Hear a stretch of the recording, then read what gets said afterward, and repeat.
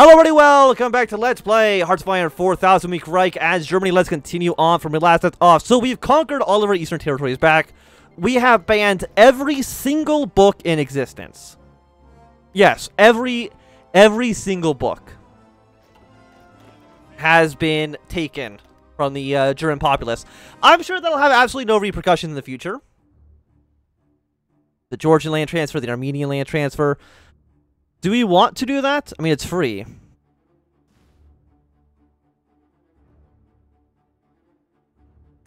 Well, I mean, I have no reason to keep this territory. We do still get to keep Baku, so that means we get decent oil supply. And we also have this territory up here as well that belongs to us. Is there good resources there? As far as I can tell, the answer is no. So I guess that's just going to stay ours for however long it takes. And I, I, think most of the other stuff, we really just want to save our political power for uh, when we do the Aryan cultural movement. It's going to cause negative 20 cents, negative 20% stability, which I would say is quite bad. But I mean, it, it could be worse. And the Soviets look like they're bringing troops back to uh, this border. So I wonder where they went, just for a brief few moments. We do have an extra research slot. We'll use that for upgrading you. Actually, no, we'll have an extra research slot tomorrow. And then we'll go for uh, the Aryan Cultural Movement. Follow that up with an extra research slot, which we're going to go for uh, max speed and reliability. Seems okay. I mean, I would like to invade the Soviets. And actually, what is our stability right now? 25, 35, 45... No, 25, 35, 45, 60... I mean, I know we have 100%, but I think we actually have more than 100%. It just, of course, stops at 100. Um, honestly, we have so many research slots, I feel completely okay getting these uh, very expensive techs. And what else do you want us to do? Concentrate. I don't know if I need to um, confiscate more wealth. We're just getting to steal in all those little resources for only 30 days, that really doesn't seem so good. 500 political power right now, which is quite nice, which will allow us to do a bunch of these uh, movements very soon. Because you are the Ministry of Speak. We'll make sure no... We'll cut out everybody's tongue at birth. I think that seems uh, more than acceptable. We don't have... Really? We're missing one support equipment? Where do we occupy? I guess we're occupying the Soviet here, right? Yeah. So why don't we send... Because right now we're civilian oversight. I think local police force is better for us. It reduces a little bit more um, resistance. Because right now, your base value is at 30. Actually, your target's at 0. So this should get all the way down to nothing very, very soon. So that's nice. There's a full occupation of these territories. I mean, how bad are the supplies? Not great. I'll boost this up. I know we I, I know we don't have any civilian factories for this. We're getting some more airports and some more um construction here done. I mean, 50 out of 36 is bad, but I, I mean, it could be a lot worse. What do you want us to do? You want us to chemical research. Um,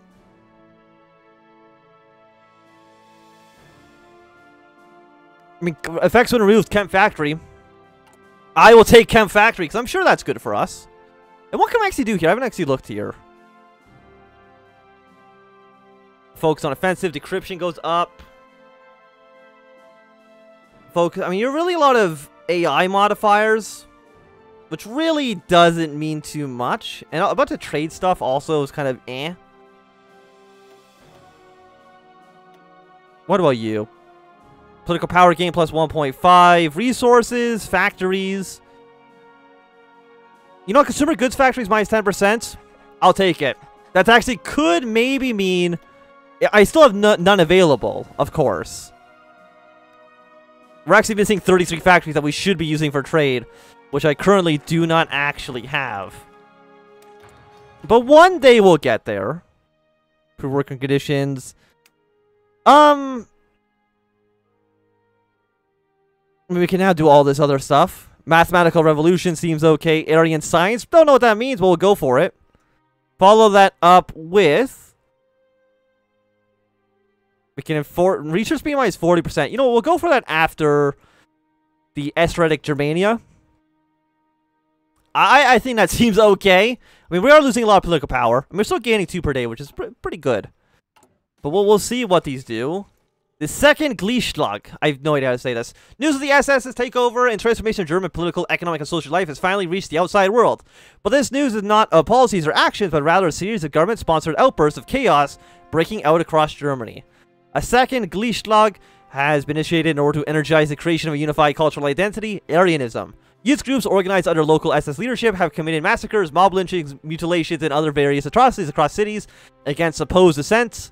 Regulation of the Aryan culture has been introduced, and large-scale crackdowns have begun on the more culturally independent parts of Germany. Local economies lie in tatters, German society is uh, only more polarized, and human capital is fleeing en masse. I'm sure there'll be no problem. We have 98% stability after taking a 20% stability loss. So I feel like we're pretty okay. A Mediterranean Union. Did they all unite under one big country? Maybe. The Mediterranean Union. Dominance of the Mediterranean has long been one of Italy's foreign policy's objectives, and now it seems that it has one step closer to that realization. Not through war, but not through war, but through diplomacy and economics. With the unstable nature of German hegemony in Europe and the economic difficulties of European nations struggling to trade through Western imposed embargoes, Rome has announced an economic bloc known as the Mediterranean Union between itself and other Mediterranean states. The goal, of the, the goal of the economic union, as well as promoting free trade between them, involves general economic cooperation in order to create a bustling uh, Mediterranean economy uh, another untold aim is to increase Italian economic power in the region to bring it closer to the dominance as long sought after Mare Nostrum. Okay, so they've not created one big country, but they have now essentially become the, um, like a European Union. But just with, I mean, who else is part of this? I mean, I think it's just Italy and it's like uh, puppet states here. Does it actually say who's a member? You get some nice benefits out of it. But of course, you know, with like Spain being communist and, you know, Soviets here, like we still got a lot of work to do.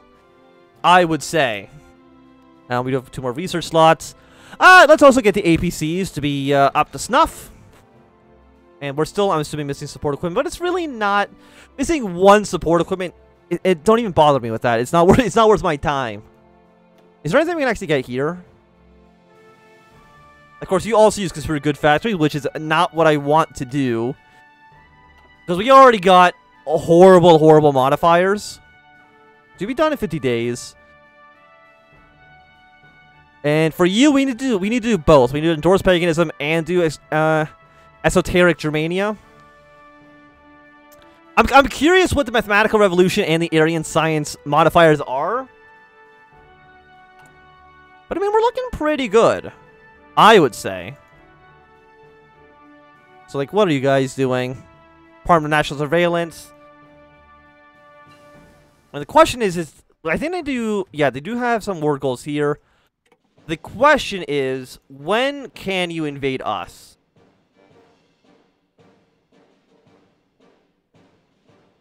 Because when you, in, I mean, if there's no way you could win. Okay, there they go. That's how they can do it. And the Russian Republic is still slowly advancing their way towards uh, the Soviets. Finland's proposal. From Helsinki to Germania, the Social Democrats of Finland have reached out to the Reich, seeking mutual beneficial relationship. Attempting to secure their independence in such a turbulent region, Finland wishes to sign a friendly treaty with Germany, making sure that Germany will not attack Finland in any situation. In exchange, Finland offers military access and favorable trade deals. We shall reject that deal. Finland, one day, you and your Social Democrats will fall under our reign. Also, night land attack getting uh, improved is nice for us. And another uh, remembrance of the beer hall. Esotericism will spread throughout Germany. I have no idea what that means. But I guess we'll find out some somewhere. Um, I mean, span aluminum plant through you, but we don't have excavation 3. Do I even need aluminum? No, we have 273 aluminum, so I, I, don't see why I would ever need any more than that. I mean, the negative 40% research speed on this is really bad. I will admit. And what are you wanting us to do? You want us to do more chemical research. I think we're fine with chemical research for now. I feel like we've done enough chemical research uh, for the time being. And Eric's physique. The concept, the concept of exploiter and exploited has been throughout history the foundation of all societies. Hierarchy is primordial, and yet every nation has until the creation of the Reich, risen and fallen. The reason for this phenomenon is, like in all other things, a matter of race. States have made the fatal mistake of letting lower races interbreed with lower caste, leading to the interbreeding of lessers with upper caste, and subsequently leads to their demise. Parasite too, such as the Jews, have climbed hierarchies in order to puppet the upper classes and destroy for their benefit. The SS has, this, has seen this historic tragedy and has formed a system to counteract it. The old regime separated race and hierarchy to their downfall. In reality, these two are the exact same. With such knowledge, it is our destiny to master Jorith as well as understand it. The SS requires a true, uncorrupted scientific community to research the laws that govern our world. Being as the second Gleichstag is in progress, the time will of the deny of the Aryanization of this Jew-tainted field of study. Albert Einstein, a name that haunts the scientific community, uh, the Jew who did nothing but push back progress, preventing abstract connection between space and time, backed by no evidence, and who has denied fundamental scientific concepts as such as the existence of the luminescent ether. His theories will be eradicated, his existence will be eradicated. Albert Einstein was never a person, just a pen name of international Zionists, each attempting to destroy the Reich. However, despite their fallacies, Jewish physics necessitates further investigation. We cannot combat them, we do not understand their capabilities. On the personal orders of Himmler, Werner Heisenberg will be leading research into Jewish physics. Johannes Stark, a venerated Aryan physicist and champion of the Arius physics movement, has made the head of committee dedicated to preserving and revitalizing of physics. We will never we will never not eradicate the Jewish spirit. E equal E int equals PRVRDR3. Factory output was 10%. Um, a horrible modifier to a research speed. I think at some point we're going to have negative 100%. Ah, uh, so that seems like a good thing. But you do get more... This also affects nuclear production by 50%, which also seems bad uh, like really bad if I want to start nuking shit.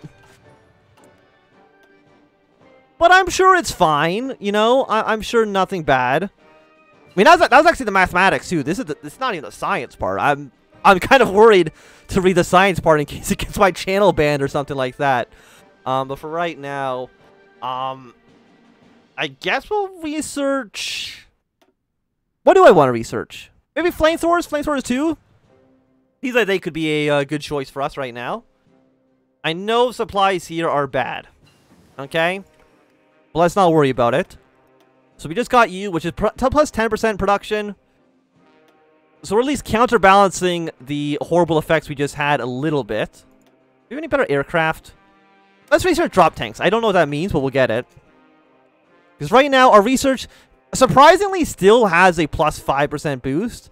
But that's very, very, very quickly going to change once you are finished. I mean, the organization regain a plus 40% is still pretty good. We're going to lose some stability here, but that's okay. Aryan mathematics. To be ubermensch, it is naturally imbued with the qualities of the ever-expanding wisdom, a powerful and determined inner drive, and an intellect unmatched by any other race inhabiting Jorith. The Aryan race is adept at the study and expansion of the mathematical field. It is for these reasons that the Reichsfuhrer SS Heinrich Himmler has initiated the official incorporation of the Deutsche Mathematik program as an organ of the SS. The movement has been relabeled Aryan Mathematics in order to better coordinate with the second Gleichstag. A change made by the personal orders of Heinrich Himmler. Acclaimed Aryan mathematics such as Oswald Teichmüller and Ludwig Bierbrach uh, will be heading the committee and will be given substantial power to reform our nation's education system. Their works concerning Riemann's surface habitation and Holomorphic functions will become uh, necessary readings for all scholars entering the mathematical field.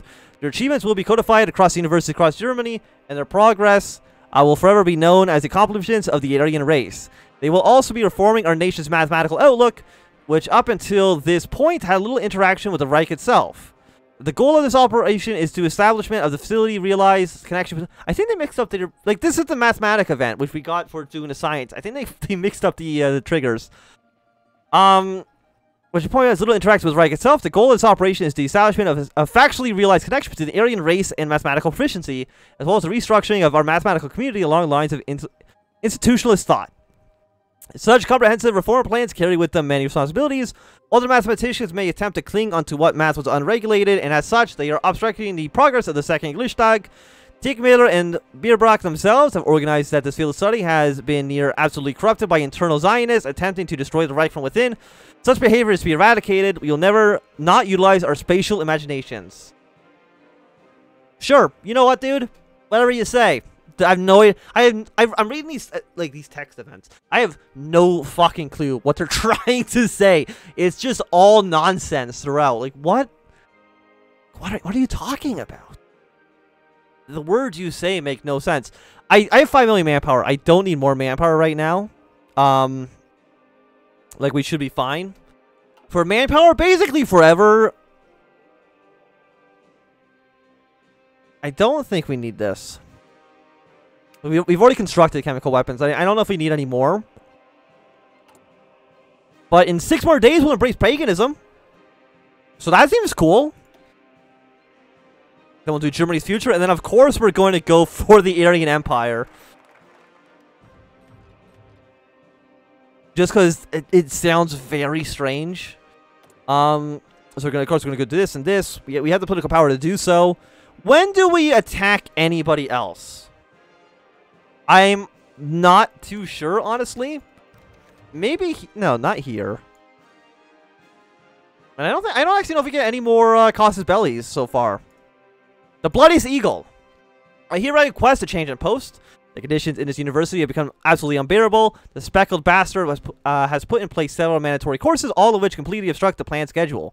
We are now required to learn about how the world was created through three brothers killing their grandpa and how they turned their flesh into the soil and his blood into the ocean and his skull into the sky. They make us read fairy tales like the Heilig or the Poetic Edda or even so-called magical spells like the Merseburg incantations.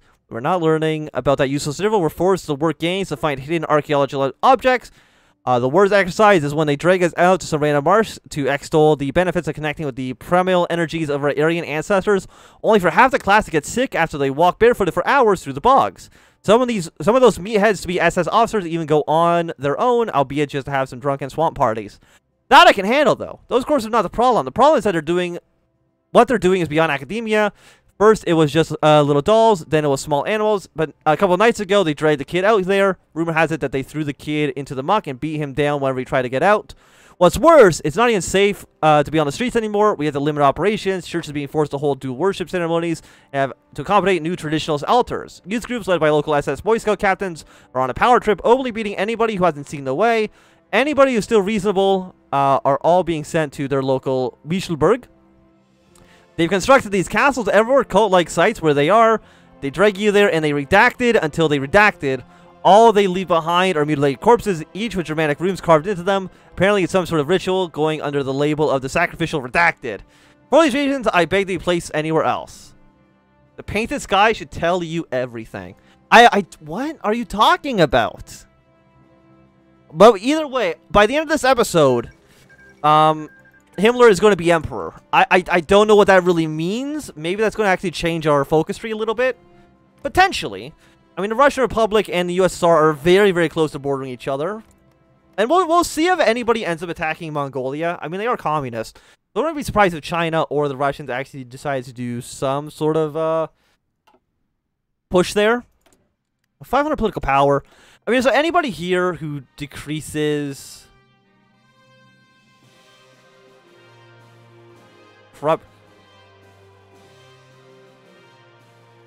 I mean, most of you don't seem good. So I'm not... Apparently we can just uh, elect the Emergency Council? I don't even know what that means, honestly. We don't want to get any of these guys because they cost even more uh, civilian factories, which I, I just don't have at all.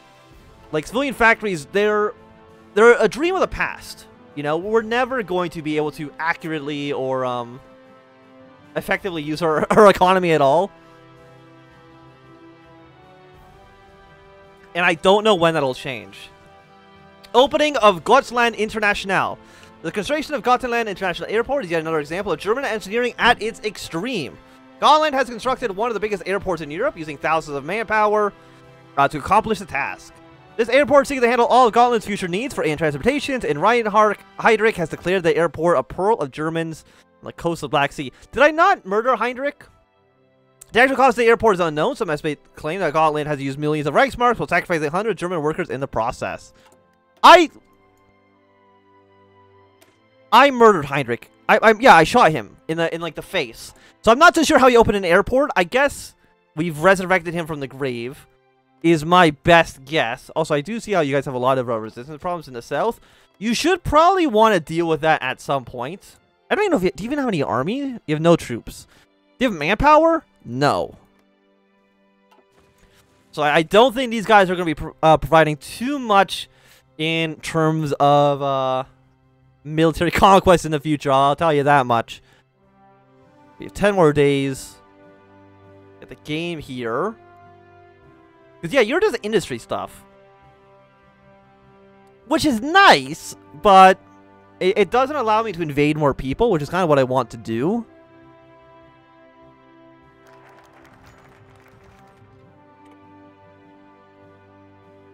Oh, can I can I not choose this one? That's disappointing. The future of the Reich. The future of the German people is on a thin line. The administration must distinguish itself from the failures of the old, ushering a nation into a new chapter of history. This process is not only one of mere changing a name or flag, it is a change of national character as a whole, as this phase symbolizes the dawn of a new beginning for the Aryan race. I really wanted you to fire but I, I don't know how you do that. I'm actually going to save it here because I'm curious to see what that actually looks like when that event fires. Um, we'll save.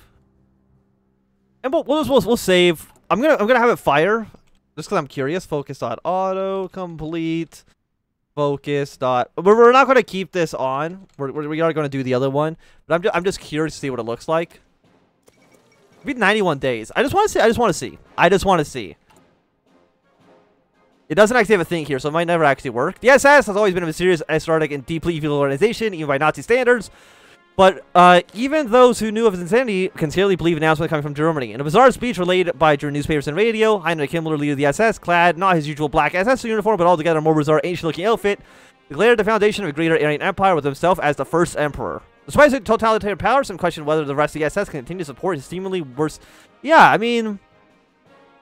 It's different, for sure, but I guess we'll just, uh load back in the save game. And what we'll do the um the actual decision they want us to do. But yeah, no, it's, it's definitely a, a weird turn of events, I would say. So you shall be loaded in mere moments. So we're just going to finish the actual decision. And we'll, we'll kind of see if it unlocks anything new. Like, did these ever finish? We finished in five days. We'll kind of see how those play out as well. 56 days until you are ready. Did the, um... Did the Free French ever decide to invade anybody? No, we, we don't really know what they're doing. And also we have two giant events here. The Song of Shangri-La. Is this the thing that was in, um, like, Uncharted 2? I think so. I think this is where they went. There was a fisherman toiling away down in the soil to keep starvation away for the day. One day, while collecting water for himself, he sailed down the river. He took the river, and the river took him, across the forest and through the lands of pillars, reaching far into the sky. It passed overhead, a gorge of absolute serenity, before entering the highlands. After days of working against the foaming waters, he reached his peace. The river brought him into a uh, cavern where he disembarked and made his way to the valley of blooming peach trees and people were unconcerned with the troubles of China, and even though that he still had to work to survive, it was his paradise. So, this was a hellhole, what thought. It would be medieval, if not for the guns of the hunters. He looked upon the desolate village in Upper Tibet, locked within the Kunlun Mountains on all sides. It was a perfect location, no one would be able to hear the operation. He took over for Bruno, Bruno Beger, the man who... Uh, the man from the Ahnenerbe, he had also been to Tibet previously in 1939, and so he was the guide. He was also had some proven skills that would be necessary for the completion of the operation. Beger's last mission to Tibet had been for multiple reasons, from proving uh, Weichlayer to finding plant materials for Liebenstrom to satisfying Himmler's interest in Asian mysticism. This time around, they had one goal which they would complete to, with efficiency and in secretly.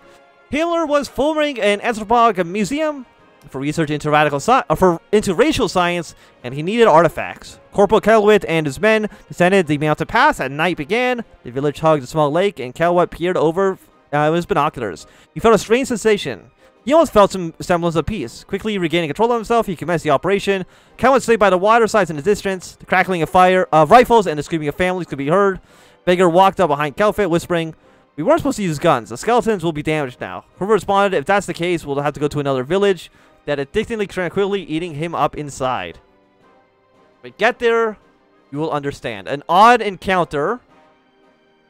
The truth shall set us free. That's not a little bit uh, worrying. The journey to Agartha. A series of research vessels crashing through the icy waters of the Norwegian Sea navigate their way towards Svalbard. In the warmer, secured cabins sit researchers and scientists poring over the maps of Jurith hollowed out books, such as the goddess of Abthar and Samozia. In the halls facing the burnt in-hospital climate of supposed Untermets, rescued from an ex uh, execution for their purpose much worse, and much more painful. They are naked, crammed, and chained together, and treated as less than subhuman. By landfall, a third were dead or gravely ill. Those were thrown out and left to die. Uh, the sight of Svalbard was magnificent and not terrifying. Lights of the Aurora Borealis jumped around the sky, green and purple. The horizon was crowded, taken up by jagged black mountains, which penetrated high into the air. Researchers uh, set themselves up in the shadow of the massive, forcing the Unsurmess to construct a circle of wooden cabins in the frigid weather. Uh, despite the climate, the researchers and their SS escorts uh, forced the Untermets onto nearby tundra and began a great digging. Given flimsy tools and prisoner outfits, the Untermets were told to dig into the earth and never stop.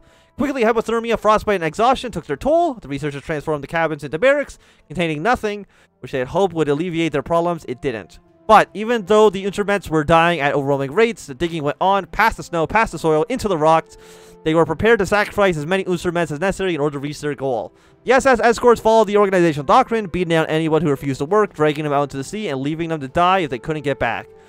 No matter how much blood was spilled, the operation continued. Once circumstances proved futile, the researchers in the SS took their belongings and abandoned Svalbard. The Untermets were left to die in polar blizzards. We lose a bit of manpower, but that doesn't really matter. Um, and, and those other decisions that we just got seems like they could be foreboding. But I think at least for right now, it's going to be a good time for us to end this episode. So thanks much for watching. My name is If you enjoyed, more thumbs up. Not doing, thumbs down. You want to see more, subscribe, and goodbye.